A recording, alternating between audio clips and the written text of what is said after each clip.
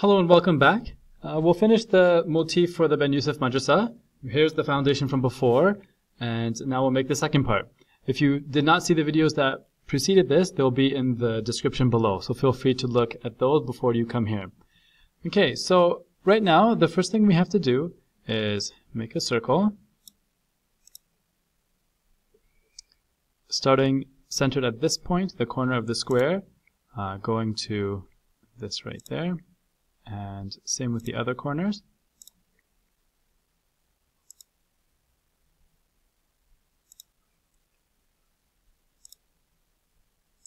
Okay, there we go. And now we'll zoom in a little bit. We want to make a circle uh, on the inside, centered at the main center, and just touching all of these four circles. So just like that. Okay, now zoom back out a little bit. We will select on this line segment tool and make the construction as follows. And we'll repeat this process going all the way around. Not every one, just from the center to here.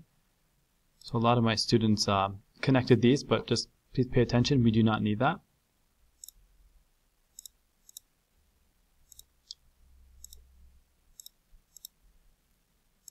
Okay, and I'm just going to now take some time to remove some of this because we want it to be a little bit cleaner. It can get quite complicated with all these uh, points, these labels. Uh, so I'm just going to hide some of the objects. As a reminder, uh, you can select on this button and just you know simply select the points. But you can see what's happening here is I'm starting to have too many points, so it's hard to do that. And that is when it's sometimes more useful to individually select them, hold down the control key, and then go to this these three dot settings and show object. And I'm going to do that individually, but I'll pause the video.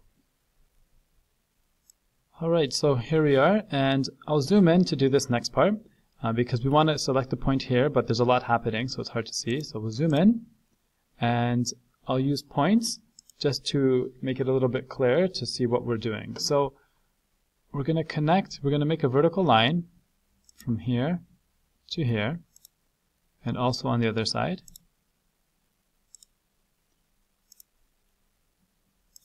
Okay, select the line tool, and there we go. And now we'll do the same thing, but going horizontally. Okay, so from right there to here, and from here to there. Now you can also see that it's like they formed parallel lines to the original um, horizontal and vertical line that existed. Okay, now we'll do the same thing, but a little bit more um, going on a diagonal way. Okay, so just to get a reference point, I'll use the points to make this a little easier again. Okay, we'll make a point right there. Okay, and that's like the top of the circle, the little circle that was on the inside. And, you know, sometimes it's easier to just kind of pay attention to patterns rather than looking at exactly what I'm doing.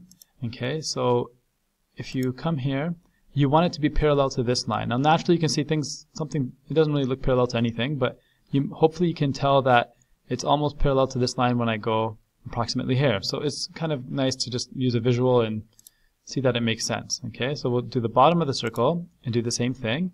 Naturally, it's parallel to this line through this point. Okay, now we'll go to the leftmost part of the circle and repeat that process. Okay, so right there looks like a natural fit. And same with here. Okay, now something else to pay attention to. Um, if we go back to the top of the circle, we want two lines other than this vertical line, but um, two additional lines uh, to be parallel as well. So we're going to come here and we want it to be parallel to this line. Okay, let's go to the bottom and this will connect to there. Okay, now if you come to this U2 point, uh, we need another line going this way. And this one here as well.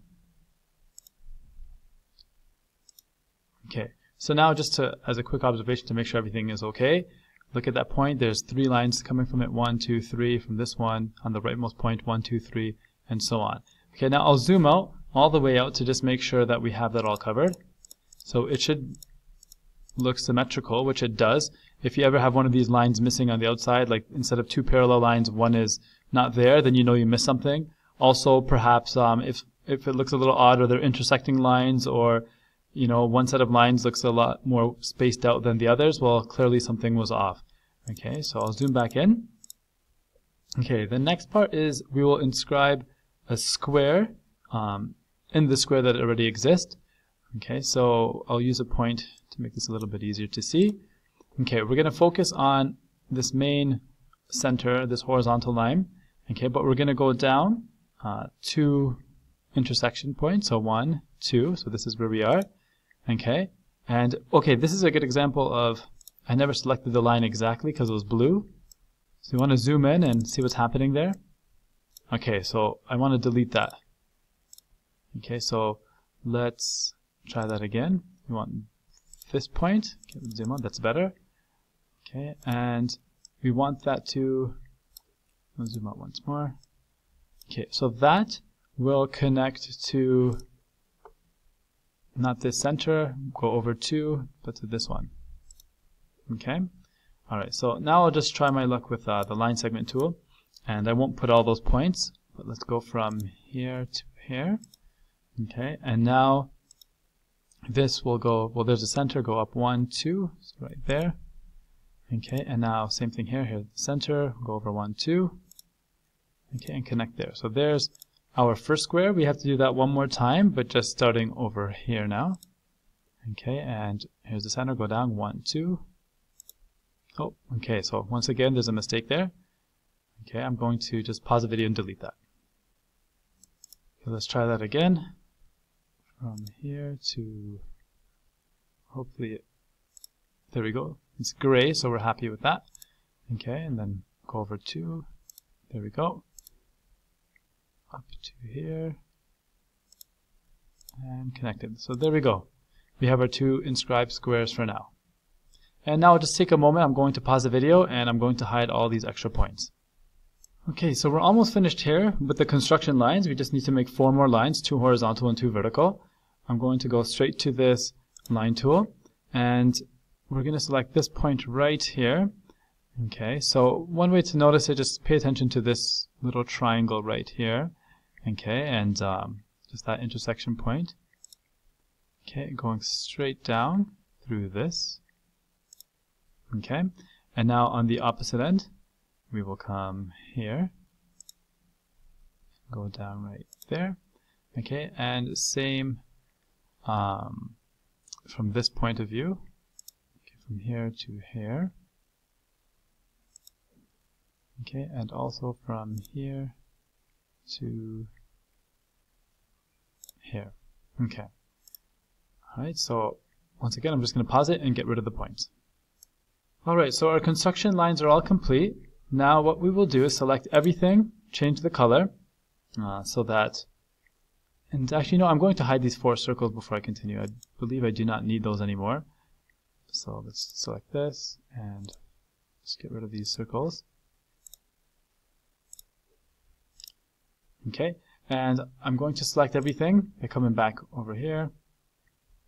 Select the bottom one, let's say, hold on to the shift key, or the upper, the arrow that's pointing upwards, and click onto that. Now select anywhere on this, um, on one of these lines, and go to settings, color, and let's just make it pink. Okay, and now we just are going to go over the parts that we need to keep. Okay, so I'll zoom back in, and we're going to go to the line segment tool. Okay, and now we will make from connect from here to, I believe it's this one, going all the way here.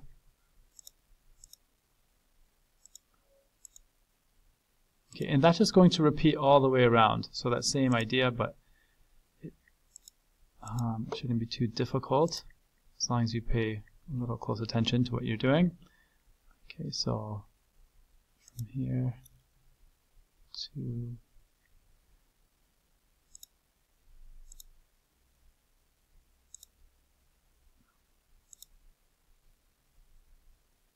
That might be that might be in the way for me, so I have to um I'll have to uh go back one second, zoom out a little, perhaps to um Let's see if I delete this, if it'll be okay.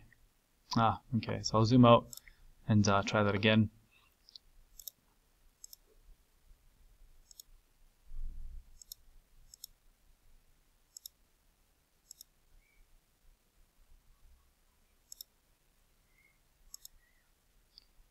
Okay, so all the way around.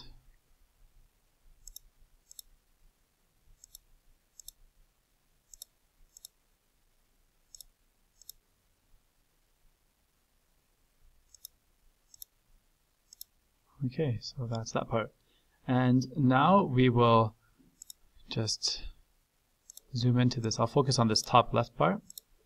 Okay, and we will make the following. So from here to here.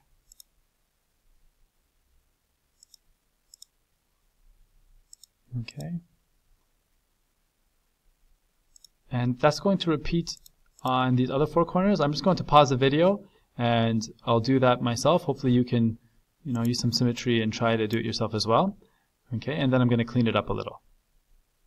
Okay, so here we are now, and we just have to finish with uh, a few more construction lines, and then we're all done. I just want you to pay attention to this next little part. Uh, what you want to do is, you see the four corners of the main square.